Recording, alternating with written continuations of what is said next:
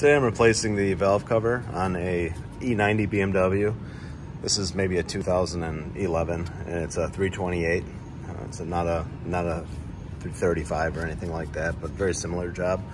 Um, just want to talk about a couple things. If you're just gonna try to stick a new gasket on it and put this back together, don't clean this very well.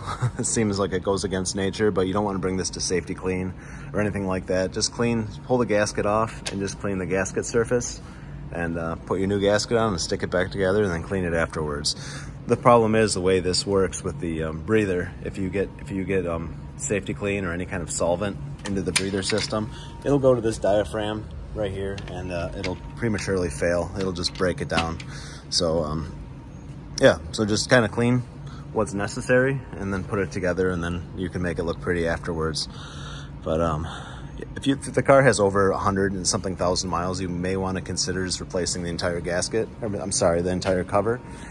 This one's getting a new cover altogether. These are made of plastic and over X amount of heat cycles, they actually start to distort. And you'll see that sometimes they don't keep very good tension on the mating surface and they'll have a bunch of weird things like these these caps commonly pop off right here the whatever kind of adhesive they use on these little breathers, they'll fall out of there. And, you know, like this one, this is missing, should look like this. Um, so at that point, it's probably best just to replace your entire cover.